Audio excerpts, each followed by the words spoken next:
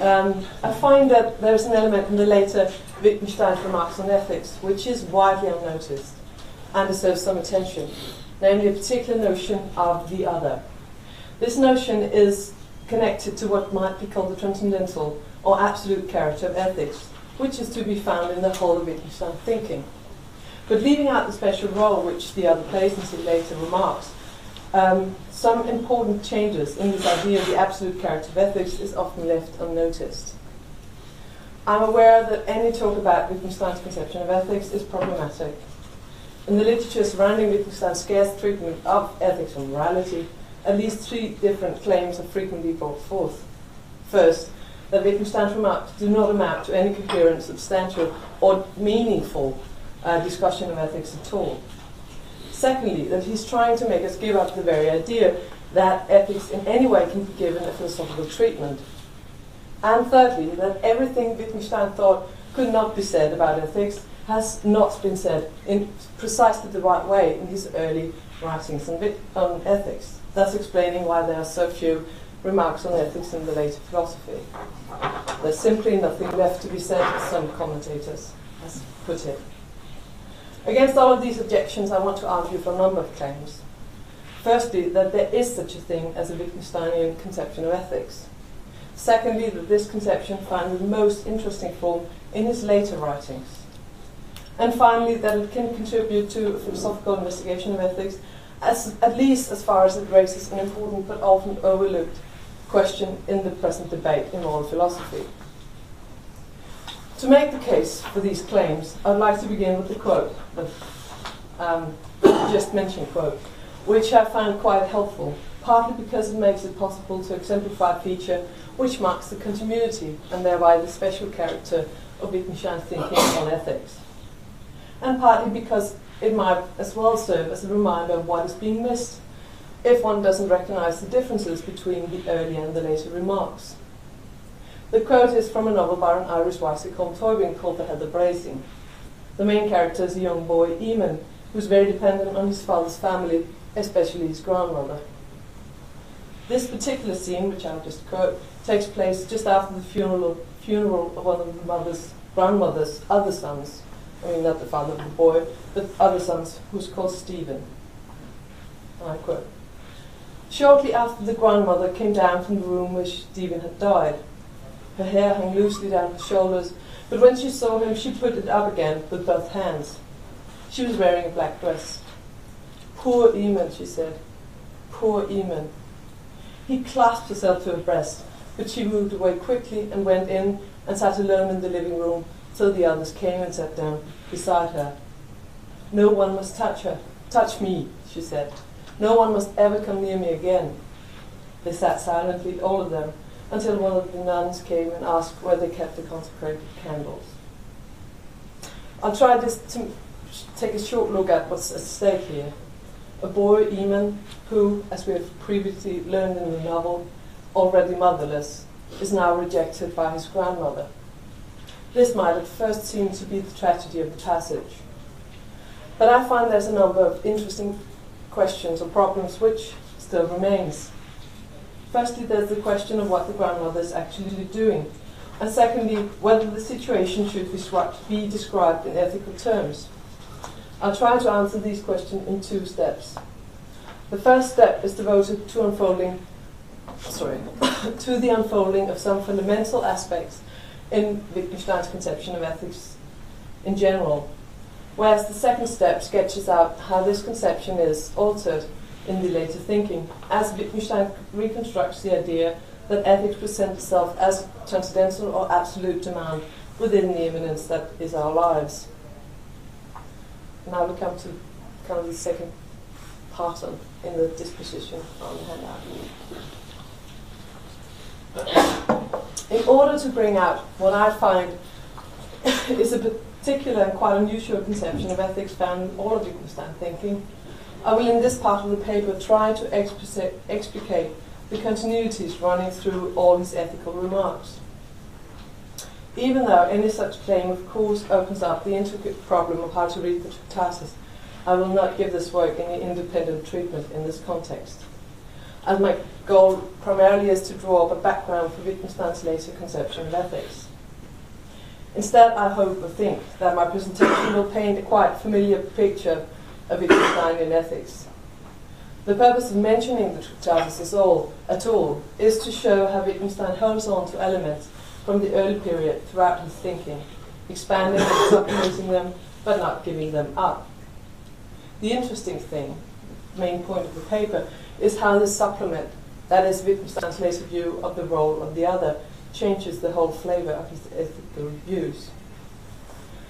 In sketching a Wittgensteinian view of ethics, two central ideas seems to be, have to be put in place, namely the idea of ethics as an attitude and the role of the meaning of world or of life. In the Tractatus, ethics seems to be connected to this exactly the meaning of life. Wittgenstein talks, talks about in 641 the Sinn der Welt, the meaning of life, of the world, sorry. And in the same paragraph, he relates this to the concept of value. What seems to be evident in these sections, in this section, is that Wittgenstein wants to oppose the idea that value in some way constitu constitutes a fact. Ethics, he seems to be saying, is not something which can be revealed by scientific or other kinds of investigation. It takes a completely different shape. In the Tractatus, value is furthermore presented as something which is opposed to what is co coincidental, so that in some form seems to be necessary or absolute. Ethics is furthermore said to be transcendental and arising not from how the world is, but from the fact that it is. Um, Wittgenstein thus seems to be, presenting, to be presenting a view of ethics as a condition for the way we live, a condition which is somehow connected to the meaning of the world. Even though these ideas provide at best only a very formal description of ethics, more help is to be found in the Tractatus.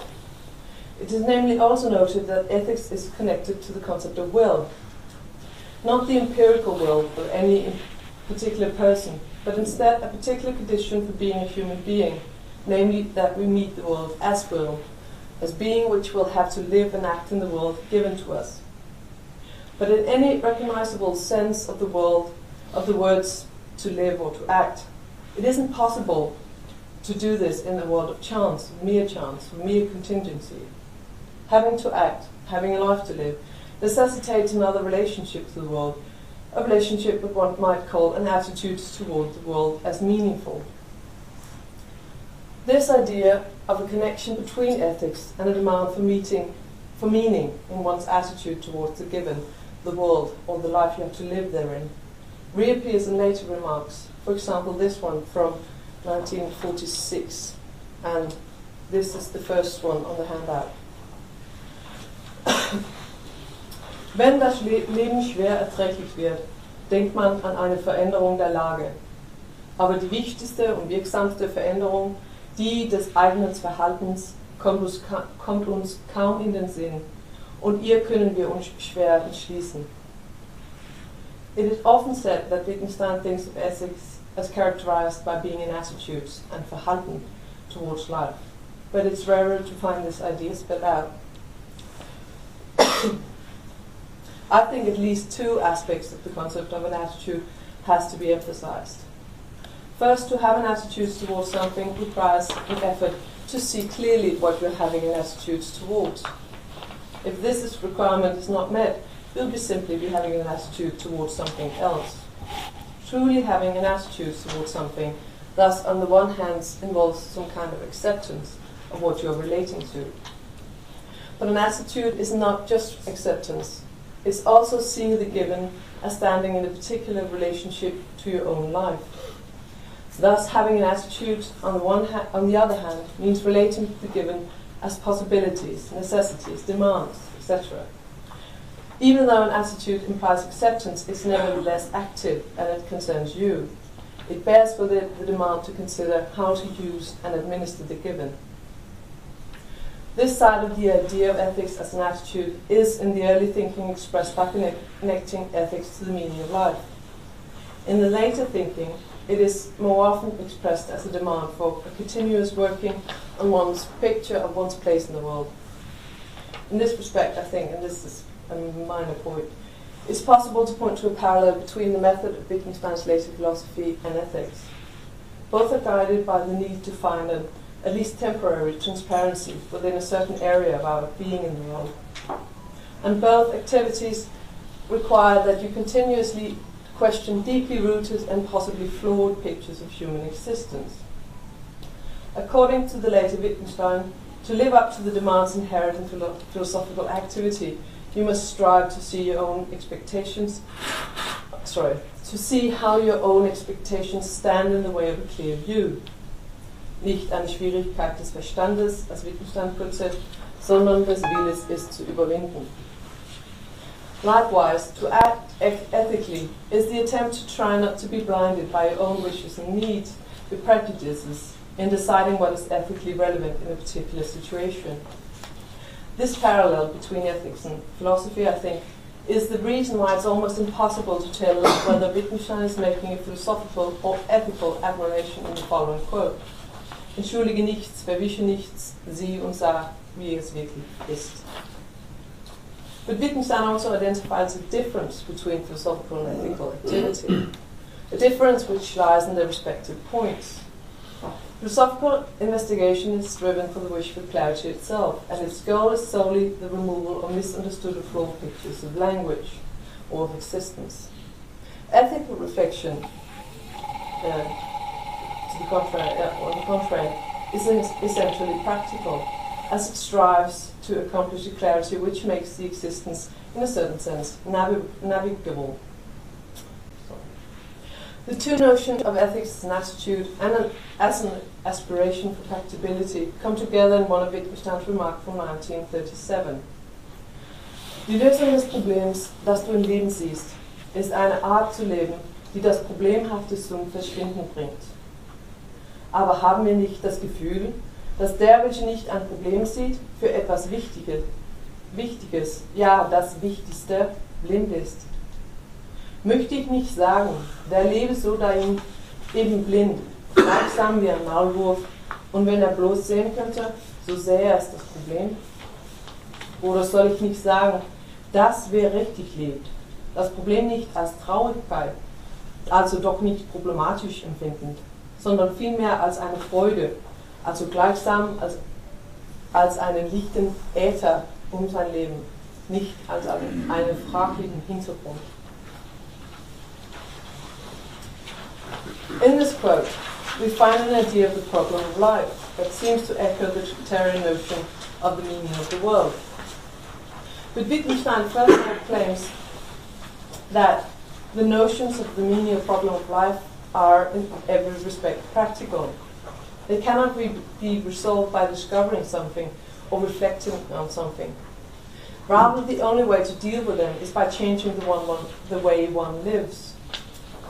Wittgenstein thus points to view ethics as practical in, practical in a radical sense, something which I will return to in a moment.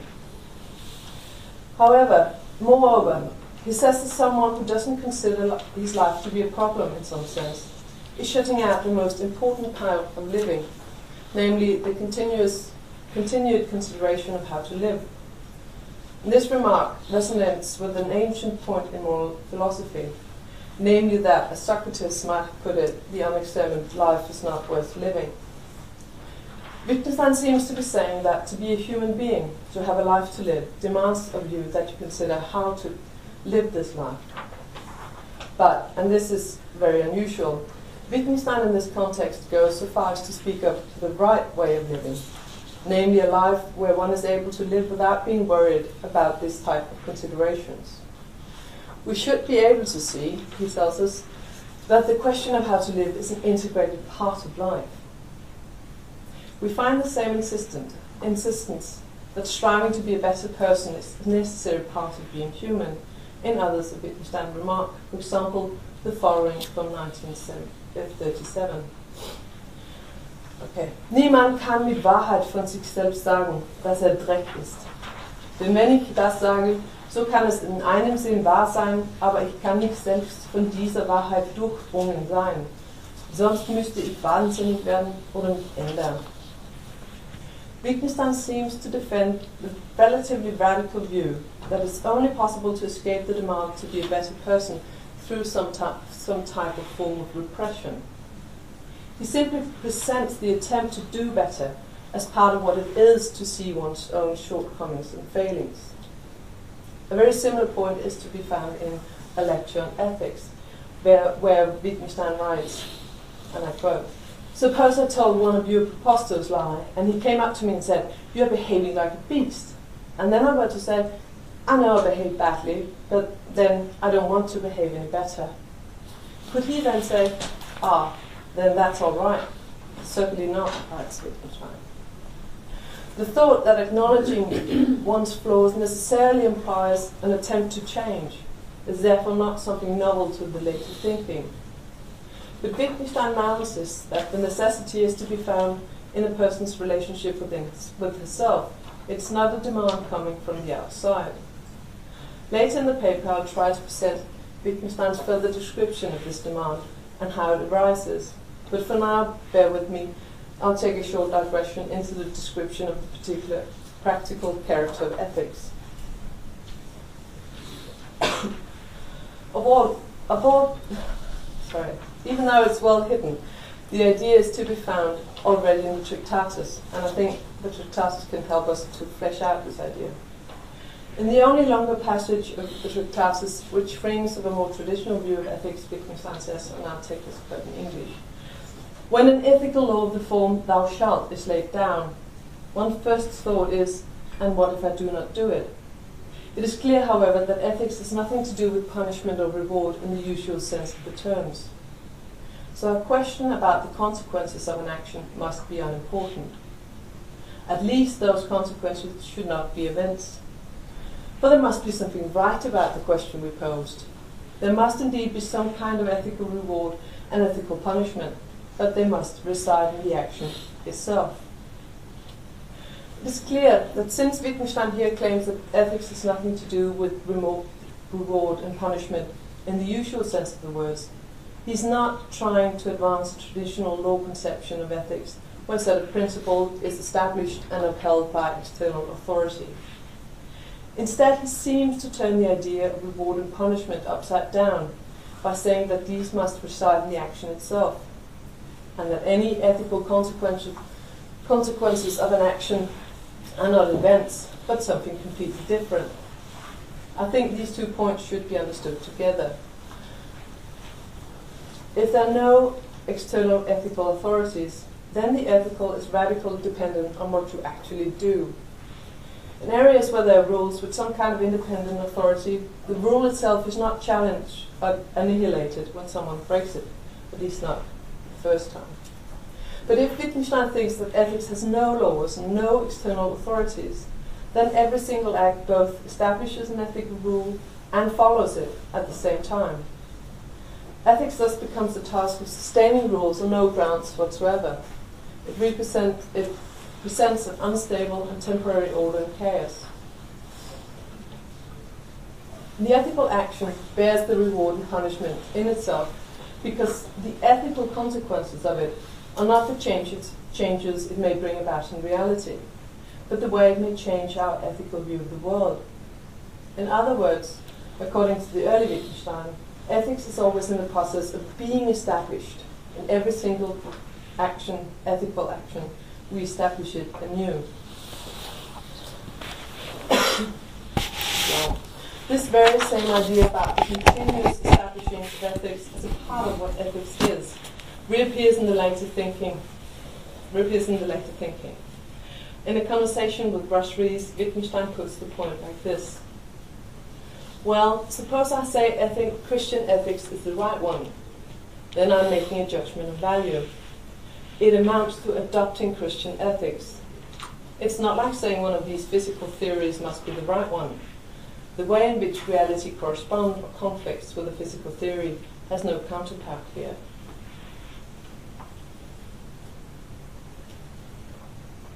And Wittgenstein says that the making of a that making a judgment of value or claiming that an ethical practice is the right one is at the very same is the very same thing as adopting it. He's saying that making ethical judgment is at the same time establishing the conditions for that judgment. Any establishing of an ethical practice is in some ways in some way itself a part of that praxis.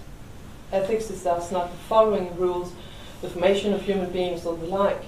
Instead, it's the continuous establishing of meaningful reference points by which to live, those being rules, religious norms, or otherwise in character. Ethics is, as Wittgenstein puts it in another context, das leidenschaftliches sich entscheiden vor einem Versuch zu sehen.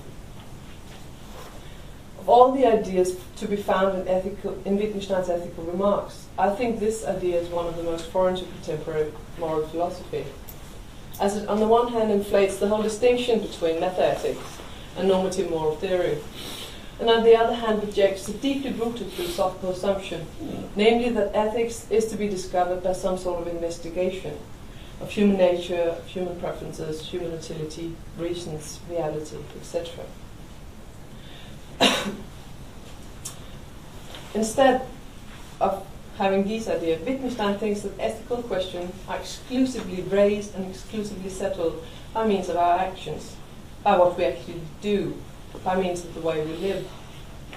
Something which I think is the back is the background or form the background for Wittgenstein's continual denial of the possibility of theoretical investigations to settle ethical questions. That Wittgenstein holds on to the conception of ethics as essentially practical shows that he also, in the later philosophy, thinks that ethics has, in some form, an essentially personal side. This shows, for example, in the following remark from 1946. And I quote Wenn das Leben schwer erträglich wird, denkt man an eine Veränderung der Lage. Aber die wichtigste und wirksamste Veränderung, die des eigenen Verhaltens, kommt uns kaum in den Sinn und zu ihr können wir uns schwer entschließen. Here, Wittgenstein seems to point to a central problem in ethics namely that one can never force a change in other people or the world.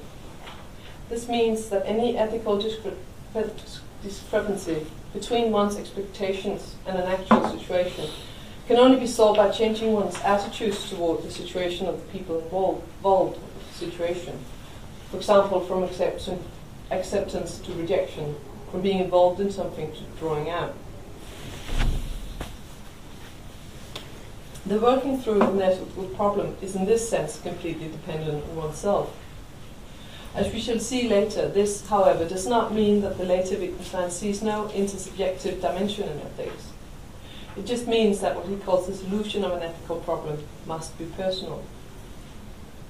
This connects to another point which is found in all of Wittgenstein's thinking, namely that ethics concern everything that can be regarded as ethically relevant for any particular human being. Both in the Tractatus and in the later remarks, Wittgenstein rejects the idea that ethic, ethics is a particular area of people's lives or of the world. What is relevant for ethics is only settled by what people actually refer to as ethically relevant, but what, by what they actually find important in their lives. And this can be very diverse from person to person.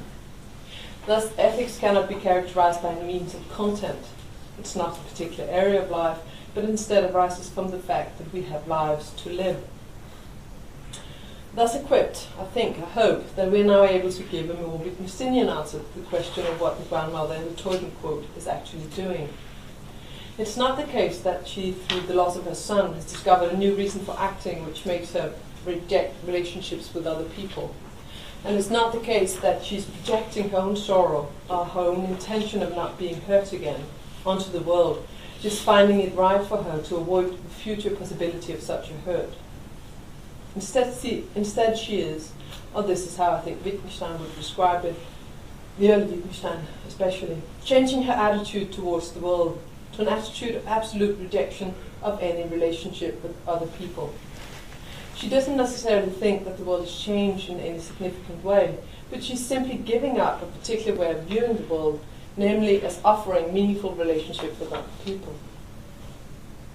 Secondly, I raised the question of whether her reaction should be described as ethically, ethically relevant. To this, I would argue that Wittgenstein said, yes, of course.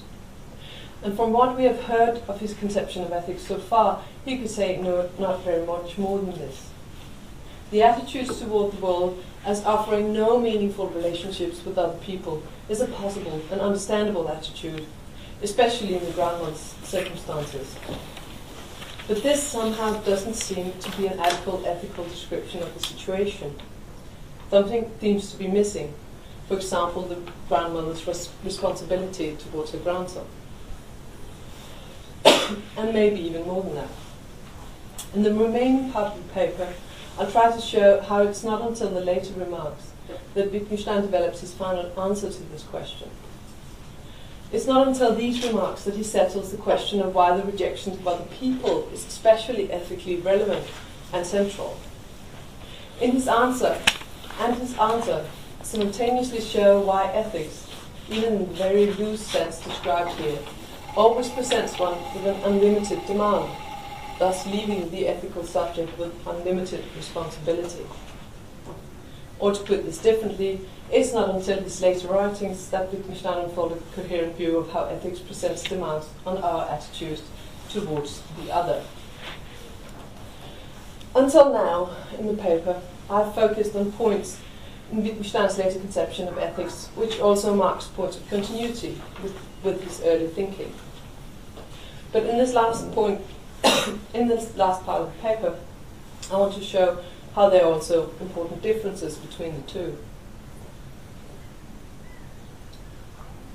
Yeah, a few points will just be mentioned in passing, namely that more traditional aspects of ethics reappear or appear actually in the later remarks. One example is a longer remark from 1949, where Wittgenstein considers the condition for calling anything an ethical teaching. And it's on the handout, um, but I won't read it due to lack of time. In this quote, it's quite clear that Wittgenstein thinks that some form of freedom, and some possibility of forming one own, one's own life, is a necessary condition for ethics. He furthermore supplements this notion of positive freedom with the fundamental notion of justice by rejecting that a proposed teaching could be ethical on the grounds that it's simply so fundamentally unjust that the concepts of right and wrong finds no place within it. This is a bit of the quote. Wittgenstein writes, sie, and he's talking about a thought of God, er hat sie in seiner Güte erwählt und er wird die strafen. Hat er keinen Sinn, als Wittgenstein Die beiden Hälften gehören zu verschiedenen Betrachtungsarten. Die zweite Hälfte ist ethisch und die erste ist es nicht. Und mit der ersten ist die zweite absurd. Furthermore, in the quote, um, the Wittgenstein introduces an idea of ethical upbringing. And in the later writings, and this is a general thing, Wittgenstein turns away from the idea that ethics is only the demand, the personal demand to come to terms with the world. And he exchanged this for a much richer idea of ethics as someone which concerns one's relationship to the other. He talks a lot about how to justify ethics to other, how we talk about ethics. The other becomes a relevant partner in our ethical consideration, making ethics the activity of finding a meaningful conception of one life, a meaningful conception of one's life with the other. But I want to argue that the other plays an even more important role in the later remarks. In them, Wittgenstein seems to form a completely new conception of the absolute character of ethics. And he does this by focusing on the experience of the other as a fundamental source of ethics. This new and very important role which the other plays can, for example, be seen in one of Wittgenstein's more dramatic remarks. I'm sorry for all the long quotes. Stay with me. Um, ein Notschrei kann nicht größer sein als der eines Menschen. Oder auch keine Not kann größer sein als die in der ein einzelner Mensch sein kann. Wem in dieser Not gegeben ist, sein Herz zu öffnen, statt zusammenzuziehen, der nimmt, in, der nimmt der Heilmittel ins Herz auf.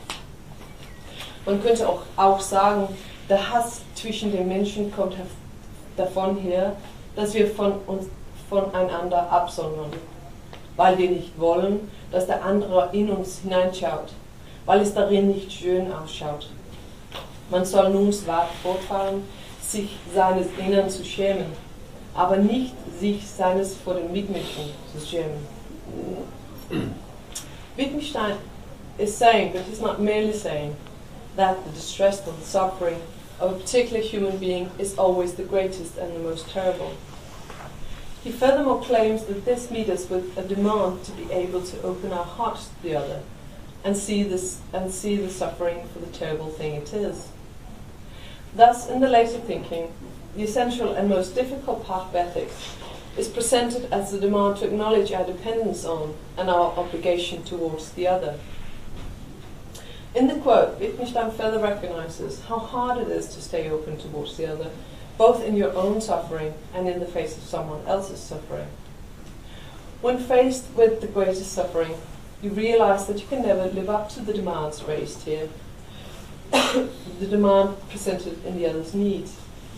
But Wittgenstein maintains that but Wittgenstein maintains how each and every one of us must realize precisely this that we will always have something to be ashamed of, something we cannot live up to. And in this realization, we must put ourselves open to view with all our imperfections towards the other. This may seem as an almost impossible task, but Wittgenstein thinks there's help to be found in what could be called the relationship with the other, namely God. In the middle of the previous quotation, Wittgenstein says, and this comes afterward in handout, Wer das Herz so öffnet in ruhigem Bekenntnis zu Gott, öffnet es sich für die anderen. Er verliert damals seine Würde als aufgezeichnter Mensch und wird daher wie ein Kind, nämlich ohne Amt, Würde und Abstand von den anderen. Sich vor den anderen öffnen kann man nur aus einer besonderen Art von Liebe, die gleichsam anerkennt, dass wir alle böse Kinder sind. According to Wittgenstein, we often let the true and in some sense necessary shame over our, own flaws and insufficiencies stand in the way of our relationship with the other. We don't want him to look inside because it doesn't look beautiful. But he thinks that only through the recognition, and in particular the acknowledgement of own insufficiencies, that we can meet the other because it is at the same time an acknowledgement of the fact that ethics present us with an absolute responsibility towards the other. Trying to hide the fact that in ethics you will or have failed is a form of vanity, namely the vanity of thinking that in this respect, in ethics, in the meeting with the other, it's possible to succeed. God, or the idea of God, may help us to overcome this thought because any real openness towards God must be based on the realization that by comparison we are not perfect. The openness towards the other is thus only possible through a particular form of love, Wittgenstein says, the love that acknowledges that we are all wicked children. In the later remarks on ethics, Wittgenstein does present a fundamental demand to reject isolation. That is, for him, ethics raises a demand for love for the recognition that human beings always have a need for and something to offer each other. In trying to spell out this demand, it arises several places. Wittgenstein often draws on a conception uh, of God very much in the fashion which he does in the quote about the infinite suffering. The connection between ethics and the idea of God is restated and elaborated upon in a remark from one of Wittgenstein's diaries. And I quote, Sich selbst erkennen ist furchtbar, weil man zugleich die lebendige Forderung erkennt und dass man ihr nicht genügt. Er es gibt aber nicht kein besseres Mittel, sich selbst kennenzulernen, als den Vollkommenen zu sehen. Daher muss der Vollkommenen einen Sturm der Empörung in den Menschen wecken, wenn sie sich nicht ganz und gar demütig wollen. Wie willst du nun den Vollkommenen nennen, ist er Mensch? Ja, in einem Sinne ist er natürlich Mensch, aber in anderen Sinne ist er doch etwas ganz anderes. Wie willst du ihn nennen? Müsst du nicht, ihn nicht Gott nennen? Denn was entspricht die Idee, wenn nicht das? Aber früher habest du vielleicht Gott in der Schöpfung gesehen, das heißt in der Welt. Und nun siehst du ihn in anderen Sinne in einem Menschen. Wir haben zwei verschiedene Vorstellungen von Gott. Oder wir haben zwei verschiedene Vorstellungen und Gebrauche für, das beid, für beide das Wort Gott. Okay, trying to recapitulate. Capitulate. In the attempt to achieve a true picture of oneself, Wittgenstein claims that one also sees what he calls the living demand, which must, by which he must mean a demand inherent in one's life. And he further claims that recognizing this demand is recognizing that one will never be able to live up to it. Throughout Wittgenstein writings on ethics, oh, sorry, throughout Wittgenstein writings, ethics remains something which cannot be fulfilled, and it is instead seen as the aspiration to get better, an aspiration inherent in our lives, which we can only accept through the acceptance of, of our own inadequacy. This is the reason why perfection, God, the other, if seen clearly, will always throw us into a state of uproar, namely the natural uproar against being met with such unreasonable and preposterous demands. But even though the idea of the infinite nature of ethical demand is, I think, to be found in all of Wittgenstein's writing, there's a significant difference between the early and the later thinking at this point. Whereas the absolute character of ethics in the early thinking is expressed precisely in the expressibility of, the, uh, of ethics and the collapse of our language. Wittgenstein now exclusively describes our experience of the absolute as an experience of the other or of God. The ethical demands appears when we are faced with the other as a representative of that which we strive for. One might see a parallel in the changes of Wittgenstein's style of writing. Whereas the Tractatus tries to establish philosophical Erläuterungen solely by presenting us with a number of philosophical temptations, the style of the later work seems to represent an acknowledgement of the fact that insights is best achieved through dialogue, through cooperation, through the realization that the other may always have relevant contributions to offer. With respect to ethics, Wittgenstein therefore places the other as necessary, as necessary for an understanding of ourselves, and he, quite unusually, places both the other human being and God in this role. in the quote, however, Wittgenstein also notes that we mustn't confuse two different concepts of God. One is the traditional Christian concept of God as the creator of the world, while the other is the concept of God as we can see him in the other, the God which shows us that we are all children. This is the concept drawn on in the quote, and it can be found in another in a number of Wittgenstein's more apparently more ethical remarks. And here comes a further one. Gott kann mir sagen, ich richte dich aus deinem eigenen Munde. Du hast dir vor Ekel von deinen eigenen Handlungen geschüttelt, wenn du sie an anderen gesehen hast. The reason why the experience of God and the experience of the other almost coincide in our aspirations to become better human being is that to Wittgenstein both represent the absolute demand facing us in ethics and our absolute responsibility for meeting it. In this way, the two concepts are almost identical. This similarity is mirrored in the fact that the later Wittgenstein seems to connect the activity of creating meaningful reference points for one's life, both to ethical and relig- religious considerations. The question of the relationship between ethics and religion in, in his later thinking is complicated. But comparing his remarks on the two, it becomes evident that they both are connected with trying to figure out how to live. Yet Wittgenstein also points to a difference between the two, a difference which highlights an important aspect of his concept of ethics. In talking about religious belief, Wittgenstein presents it as the central part of religion that it's the possibility of belief which reaches far beyond any factual evidence. The difficulty with regard to religious belief is to achieve and hold on to one's faith in spite of whatever evidence one meets. But together with religious faith, the believer is also offered a suspension of all doubts and, a, a, and thereby a certainty which has no counterpart in, in ethics. There's a and there's a quote which goes like this. Es ist schwer, sich recht zu verstehen, denn dasselbe, was man aus Größe und Gute tun könnte, könnte man aus Fähigkeit und Gleichgültigkeit tun. Man kann sich freilich so und so aus wahrer Liebe benehmen, aber auch aus Hinterlist und aus Kälte des Herzens, so wie nicht alle Milde Gute ist. Und nur wenn ich in Religion untergehen könnte, könnte diese Zweifel schweigen denn nur Religion könnte die Eitelkeit zerstören und in alles Spalten bringen. Because religious belief is to surrender completely to the other God, it can at least give us the hope of certainty. But this certainty is not a possibility in ethics because ethics is a personal aspiration to meet the demands of life and an aspiration for which we ourselves must take full responsibility. Um, as presented above, Wittgenstein thinks that we find both the ethical demand and its unrealizable character in the experience of the other. I'll make some final comments about this idea on the basis of how it appears in a reply Wittgenstein wrote to Drury in the latter complaint about being dissatisfied with his own performance working in hospital.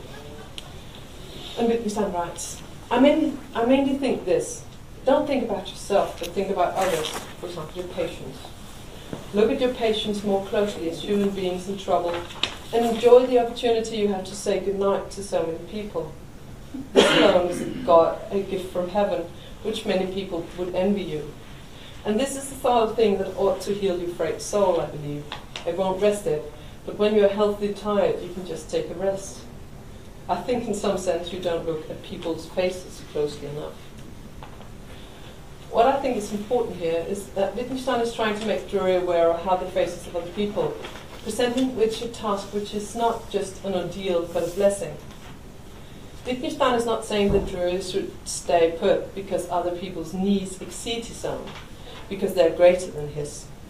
He's rather trying to remind Drury that we all have a need for other people, and that we can only fulfill this need exactly by staying open towards them.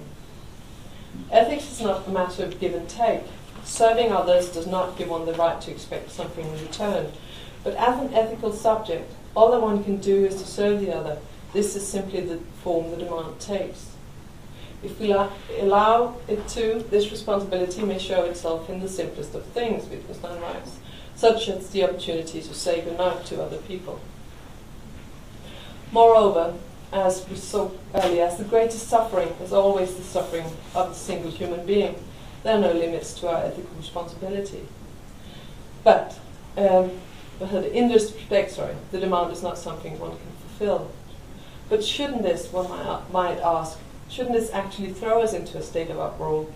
Isn't Wittgenstein here presenting a view of ethics which is simply unbearable in its absolute character? I think, in one sense, the answer is yes, in another no. To see ethics for what it is, Wittgenstein thinks, is to accept that what cannot meet its demands. But he raises, in the reply to Drury, he raises a further issue. Wittgenstein comments that this is, and I quote again, this is the sort of things a thing ought to heal your frayed soul, I believe. It won't rest it, but when you're healthily tired, you can just take a rest. Here I think Wittgenstein points to the possibility of living in the face of ethics, in the face of the other, which is given despite the absolute character of the demand. It's given because the acknowledgement of one's imperfection is at the same time an acknowledgement that one is only, and an acceptance of the fact that one is only able to give this much. So then, when one is healthily tired, one has the right to take a rest. And now I'll just finish moment. I'll just let her go back to the ground grandmother of the initial quote. Seen in the light of Wittgenstein's view of the other, other's essential role in ethics and our life, I think a, a further dimension appears in this quote. The greatest tragedy of the situation is not the little boy losing a grandmother, someone on whom he depends, even though this loss is tragic enough. The real tragedy is the tragedy of the grandmother, which is at the same time a sin, you might say. The sin of rejecting to take any responsibility for the other. The sin is understandable, as it would be for anyone, uh, as it would be in any case where a person reject, reacts in this way after a great personal loss. But in Wittgensteinian terms, it's still a sin, and according to, to Wittgenstein, nothing less than, than a primary one. The question is how this can be. How can ethics present us with such demands of resp- responsibility towards the other? According to the later Wittgenstein, I think, the grandmother's sin is her loss at well. Oh, sorry, the grandmother's sin is her loss at well, as well, because in giving up the attempt to stay open to other people, especially those dependent on her, she's giving up what is fundamental for her too, the relationship with other people. the grandmother's reaction is a rejection of the demand to acknowledge not the world as we might see it in the early in Wittgenstein's early thinking on ethics, but the existence of other people as that which cannot be rejected. And the later Wittgenstein would claim this is the primary ethical sin because it's the sin of not accepting the unconditional demand rising from the ethical character of one's existence. Thank you.